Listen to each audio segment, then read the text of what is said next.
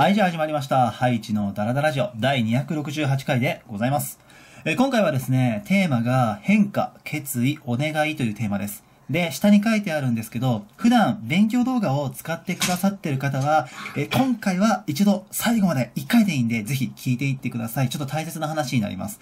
で、今、冬休み期間中なので、あの、部屋、部屋にね、今息子がいて、あの、お絵かきをしてるので、いろいろ音が入ったり、ちょっと声が入るかもしれないんですが、そこはちょっとご容赦ください。では、ちょっと手短に済ませていきます。で、えーまず変化を先に言いましょう。何かっていうと、明日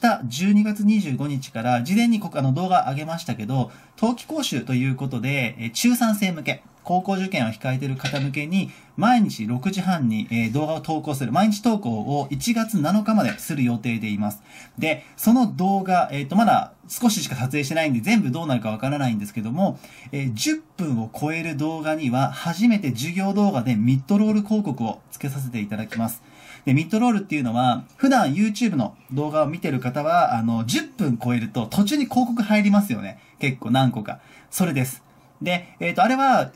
こっちのクリエイターの方で数とか場所を決めれるんですね。で、入れるのは1箇所です。えー毎日、もう10分超えた場合は1箇所だけ入れさせていただきます。で、それがまず変化。で、多分これだけ聞いていくと、マジかよって思う方が多いと思います。で、そこを、えー思われるのは当然分かってますし、えー今回のこの変化に関して、まあ、反発というか、いろいろ言われるかなとは思ってるんですけど、でもちょっと大事な決意というか気持ちがあるので、ぜひそこも聞いていってください。で、えーきっかけはですね、あのまあ、昔からちょっと思ってはいたんですけど、この前、花尾さんとね、あの、花尾さん、レンガンさんとね、あの、コラボ動画を撮影させてもらって、で、それは年始、年明けに公開するんですけど、あのそこで花尾さんとさ、こう、いろいろ喋らせてもらっててさ、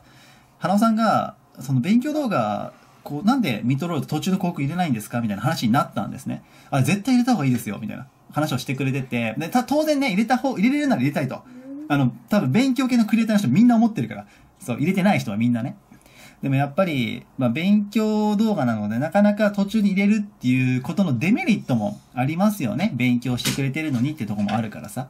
で、そういうのも話したんだけど、でもやっぱり、時代的に、その普通じゃん。もう入れるのが。最初いろいろ言われてたけど、もう今みんな入れるでしょ。当たり前のように普通に入れるじゃん。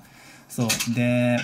勉強動画もそうしていかなきゃダメなんじゃないかなっていうのに思ってたのね。思ってたところに花尾さんとその話だったから、今回、まあ期間限定のものなので、そう、一ひとまず試しにやってみて、みんなが、ユーザーのみんながどう感じるかをぜひ聞きたいと思います。で、正直、今この段階だったら、うわ、マジうぜえっていう風に思う方もいると思います。で、実際使ってみてどう感じるのかっていうのをぜひ聞きたい。まあ、それがお願いの部分にはなるんだけど、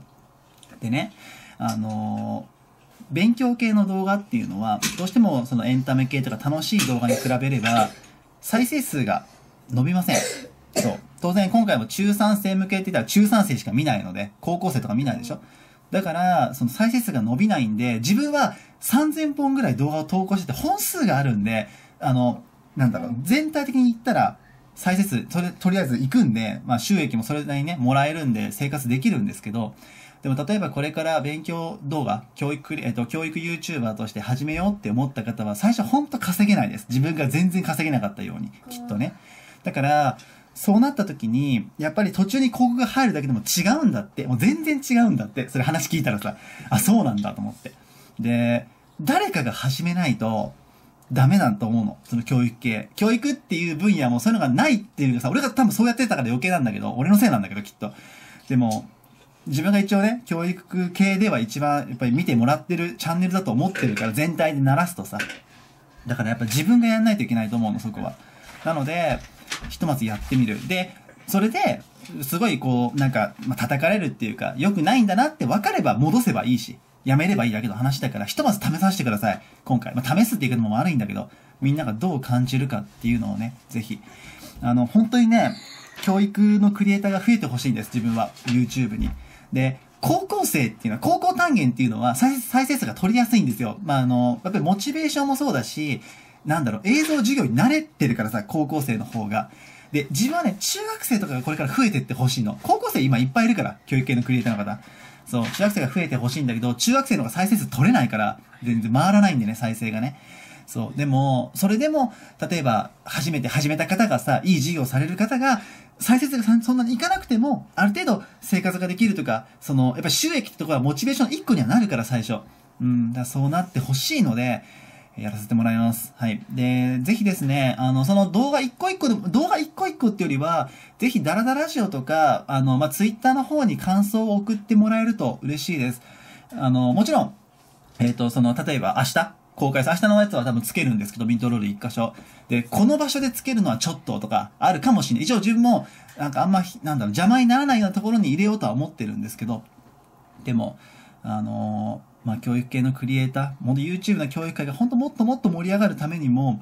あの、一個大事な、なんかターニングポイントだと自分個人的にはすごく思ってることなので、そこだけ、あの、ご容赦ください。あの、どうなんだろうね。正直怖いっす。正直怖いよ。そう。で、本当はダラダラジオ基本投稿だったんですけど、自分の Google さんのね、担当の方に、ちょっと相談してからやりたかったの。いろいろ。で、さっき電話させてもらって、で、いろいろちょっと電話きしてて、で、話意見を交換してね。それでもやっぱ、あの、いいと思いますと。ぜひあの、試しにやってくださいっていう風に言ってくれたから、背中を押してもらったんで、ちょっと一日遅れちゃったんですけど。はい、という感じです。なので、まあ、まとめると、明日からの、えっ、ー、と、冬季講習、中3生向けにはなりますけど、それで、えっ、ー、と、ミッドロール、途中に1箇所広告が入ります。10分以上の動画だけだけど、それしか入れられないんでね。そう。で、それを、えー、どう感じたのか。で、まあ、現時点でもう、うざいとかさ、もうそういうのマジ嫌だって思う方もいると思うんだよ。それはもうこのダラダラに書いてくれればいいから。そう。で、まあ、その、ぜひ、まあ、見てみてどう感じるかっていうのを、あの、コメント欄とか、あとは、そのツイッターの方に、できればツイッターの方がありがたいですね。目通しやすいんで、書いてもらえるとありがたいです。はい。ということでよろしくお願いします。はい。以上です。すいません。ちょっとこんな話なんですけど、でもね、大事な話だったんで、今回このダラダラジオで喋らせていただきました。はい、という感じで、えー、今回は、ハイチのダラダラジオ第268回、変化、決意、お願いというテーマで喋らせていただきました。えー、今回もね、ここまで聞いていただき、本当にありがとうございました。で、えっ、ー、と、年末のね、ふざけた動画やること決まったんですけど、まだ撮れてなくってですね、で、あさってちょっとある中学校で講演会があるんですよ。喋ってくるんですけど、で、その講演会でね、ちょっと準備でテンパってるので、ひとまずそれ終わったら、26に終わるから、終わったら、27、28ぐらいで撮って、29、30ぐらいで編集してっていう風に、あの、今年中に間に合うように投稿しますので、あの、結構ね、あの、地味に楽しみにしてくれくださってる方多いんでね、あの、お待ちください。よろしくお願いいたします。では、えー、ちょっとね、こういう話になりましたが、ここまでお付き合いいただきありがとうございました。では、また来週は、今年最後かなのダラダラ城になりますので、もしかしたら生放送になるかもしれませんけど、よかったらお付き合いください。では、今回この辺で終わります。以上です。ありがとうございました。